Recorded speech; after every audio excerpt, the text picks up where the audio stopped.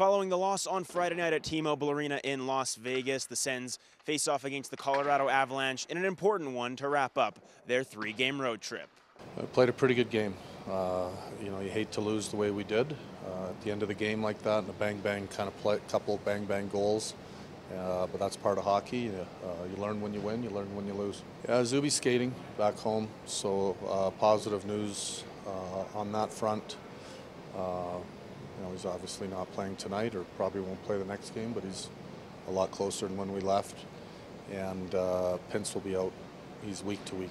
It was just an optional skate ahead of the game on Sunday night, and in fact, it was only Linus Ullmark who was out there doing some goalie work ahead of the game on Sunday night. Despite that, though, Travis Green did not name a starting goaltender and did not confirm any line combinations going into Sunday's game. He did, though, comment on the success of the Josh Norris, Claude Giroux, and Drake Batherson line, as well as Cole Reinhardt and the fourth line, and also commented on the first line when Nick Cousins and Michael Amadio swapped places in the game on Friday night. I thought that line gave us some good minutes last game. Uh, I I, what I like about Rhino is he's fairly good size. He can skate.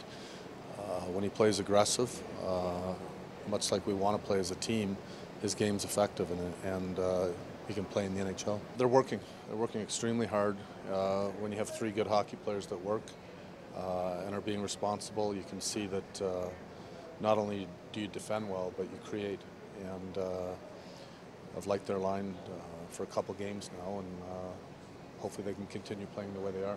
You know, you might see guys pop in and out of that line. I thought when we put Cuzzy up, uh, gave a little spark.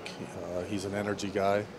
Uh, might see both of them play in that spot. Some quick hitting stats coming into tonight's game. Drake Batherson carries a three game goal streak into tonight's game. He picked up four goals over those three games and has five total goals on the season, which is the quickest that he's reached the five goal mark so far in his career. Claude Giroux also comes into tonight with a five game point streak after picking up a goal and an assist in the game on Friday in Vegas. Nick Cousins also gets set to skate in his 600th NHL game here tonight. And as for the Colorado Avalanche, they come in 4 4 0 so far on the season and though they are only sitting at 500, that record can be deceiving. They lost their first four games, but have since rebounded to win their next four. They're only the third team in NHL history to lose their first four games in regulation and then win their next four coming in tonight with a four-game winning streak. Cale Makar leads the way for the Avs in points with 15 so far on the young season, and Ross Colton leads in goals with seven so far on the year. Well, much like every game, uh, it starts with our game, making sure that we're on top of our game for 60 minutes.